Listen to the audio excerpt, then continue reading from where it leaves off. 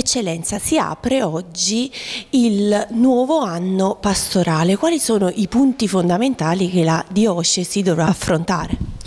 I punti fondamentali che la diocesi dovrà affrontare è certamente quello dell'evangelizzazione perché eh, il Vangelo è sempre parola di Dio che evangelizza, vuol dire questa lieta novella che noi siamo chiamati a portare a tutti.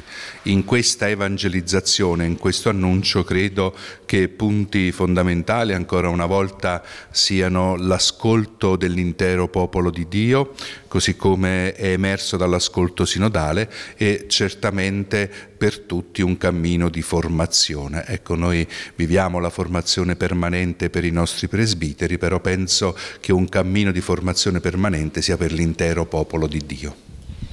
Il tutto per prepararsi al giubileo del 2025. Sì, non solo per prepararsi al giubileo del, del 2025, ma soprattutto eh, perché questa evangelizzazione, eh, questa nuova evangelizzazione, come amava dire Giovanni Paolo II, no? nuova anche nel linguaggio, nuova nelle modalità, come ci esorta anche Papa Francesco, eh, perché questo ascolto sinodale, perché queste esigenze di formazione certamente non sono in vista del giubileo, ma credo che debbano diventare cambiare lo stile della Chiesa.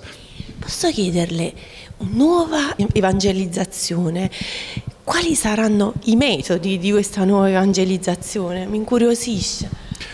Certo, eh, i metodi, eh, i mezzi, le strade per l'evangelizzazione sono certamente eh, strade nuove da percorrere. Io credo eh, che la nuova evangelizzazione, quando parliamo di nuova evangelizzazione, ripeto, è un termine che risale a Giovanni Paolo II, eh, stia ad indicare il nostro tentativo, la nostra capacità eh, di annunciare questa lieta novella, questo Vangelo con linguaggi nuovi e questi linguaggi nuovi nell'isola di Ischia sono certamente, io l'ho detto tante volte e amo ripeterle, proprio questa nostra capacità, la capacità di tutta la Chiesa, dei presbiteri con i laici, dei presbiteri con l'intero popolo di Dio, di essere prossimi a ciascuno. Ecco, credo che si possa veramente partire da qui. La passione per l'annuncio evangelico eh, diventa passione per la persona e questa passione per la persona credo che sia sia la nostra capacità di chinarci sulle attese dell'uomo e della donna di oggi.